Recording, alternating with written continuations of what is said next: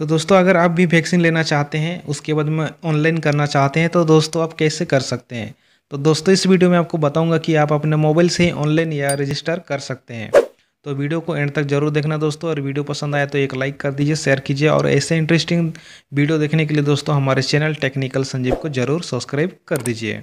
तो चलिए मैं स्टेप बाय स्टेप में बताता हूँ कि आप अपना मोबाइल से कैसे वैक्सीनेशन के लिए आप ऑनलाइन कर सकते हैं या रजिस्टर कर सकते हैं। तो दोस्तों, अगर आप भी वैक्सीनेशन के लिए ऑनलाइन या रजिस्टर करना चाहते हैं तो दोस्तों, सबसे पहले आप गूगल ओपन कीजिए।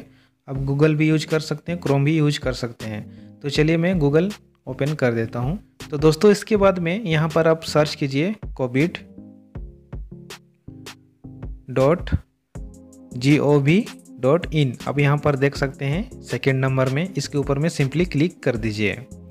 उसके बाद में दोस्तों, सबसे पहले ऊपर में आप जो पेज आ रहा है कोविन एप्लीकेशन इसके ऊपर में आप सिंपली क्लिक कर दीजिए। उसके बाद में दोस्तों, आपको ये पेज ओपन हो जाएगा तो यहाँ पर आपका मोबाइल नंबर को देना होगा तो सिंपली आप यहाँ से मोबाइल नंबर दे दीजिए। तो दोस्तों, जो मोबाइल नंबर आप देंगे, उसमें एक ओटीपी भी आएगा। तो चलिए मैं मोबाइल नंबर दे देता हूँ।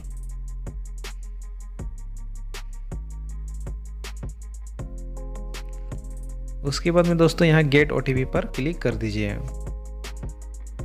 उसके बाद में दोस्तों आपका मोबाइल पर एक ओटीपी आएगा। आप देख सकते हैं ओटीपी भी आ चुका है। तो दोस्तों जो मोबाइल नंबर पर आपका ओटीपी आया है सिंपली उस ओटीपी को यहाँ पर आप दे दीजिए। तो चलिए मैं यहाँ पर दे देता हूँ।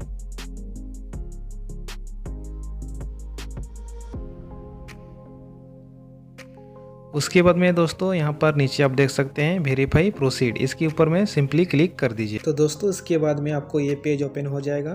तो ऊपर में आप देख सकते हैं फ़ोटो आईडी प्रूफ यानी कि आप जो आईडी प्रूफ से लेना चाहते हैं, उस आईडी प्रूफ को यहाँ पर आपको चूज़ करना पड़ेगा।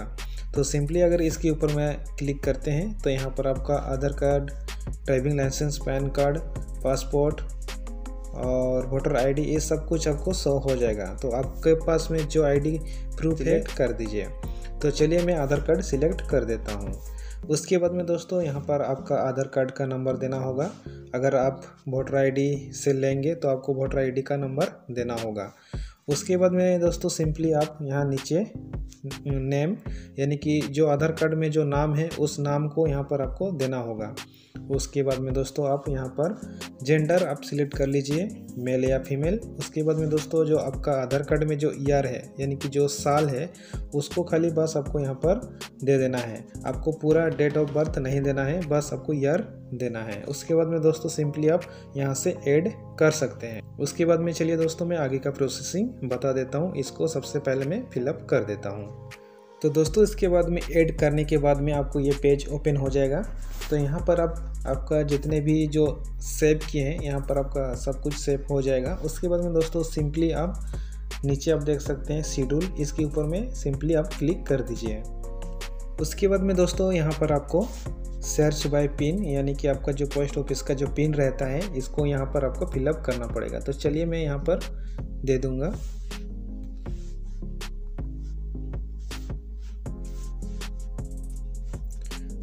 उसके बाद में दोस्तों राइट साइड में आप देख सकते हैं सर्च बाय डिस्ट्रिक्ट इसके ऊपर में भी क्लिक कर दूँगा। उसके बाद में यहाँ से सिलेक्ट स्टेट तो यहाँ तो यहाँ पर मैं सिलेक्ट कर देता हूँ।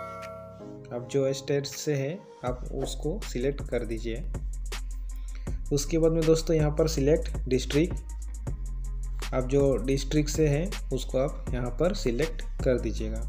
उसके बाद में सिंपली नीचे सर्च के ऑप्शन है, इसके ऊपर में सर्च कर दीजिएगा। तो यहाँ पर आपका जितना भी स्लॉट है, रिज़ल्ट आपको शो हो जाएगा। आपको यहाँ पर डेट मिल जाएगा। यहाँ जो डेट में लेना चाहेंगे, आप उस डेट को सिलेक्ट कर सकते हैं चूज़ कर सकते हैं। उसके बाद में जो जो सेंटर में आपका जो फ्री है, वो यहाँ पर आपको शो हो जाएगा। नीचे स्क्रॉल करेंगे तो आपको बहुत सारा मिल जाएगा। तो यहाँ पर आपको फ्री भी मिलेगा। उसके बाद में पेड यानी कि आपको पैसा से भी लेना पड़ेगा, अगर आप पैसा से लेना चाहते हैं तो। तो चलिए मैं इस फ्री है, उसके ऊपर मैं क्लिक कर देता हूँ। उसके बाद में दोस्तों, यहाँ पर सिंपली आपको नीचे आप देख सकते हैं टाइम आपको सेट करना पड़ेगा यानी कि क्लिक करना पड़ेगा। आपको कौन सा टाइम में लेना चाहिए या ले सकते हैं। तो दोस्तों, आप जो टाइम आप लेना चाहते हैं, उस टाइम को यहाँ पर आप सिलेक्ट कर दीजिएगा। जैसे मैं इसे सिलेक्ट कर रहा हूँ तो ऐसे आप अपना टाइम को सिलेक्ट कर सकते हैं। जैसे कि 9 से 11 अगर इस टाइम में आप जाना चाहते हैं तो इस टाइम को आप सिलेक्ट कर सकते हैं।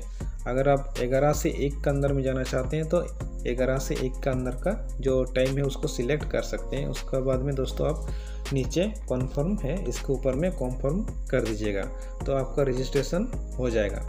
तो दोस्तों, ऐसे आप अपना ऑनलाइन मोबाइल से वैक्सीनेशन के लिए रजिस्टर कर सकते हैं ऑनलाइन कर सकते हैं। तो दोस्तों, वीडियो कैसे लगा कमेंट सेक्शन में ज़रूर बताइए, और वीडियो पसंद आए तो दोस्तों, एक लाइक कर दिए शेयर कीजिए चैनल में नए हैं तो चैनल को ज़रूर सब्सक्राइब कर दीजिए।